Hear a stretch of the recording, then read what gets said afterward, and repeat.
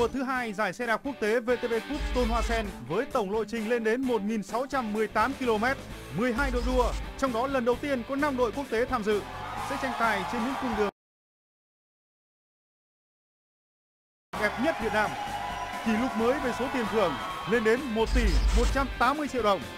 Giải xe đạp quốc tế VTV Cúp Tôn Hoa Sen 2017, vòng quay lan tỏa Tôn Hoa Sen hân hạnh đồng hành cùng chương trình này.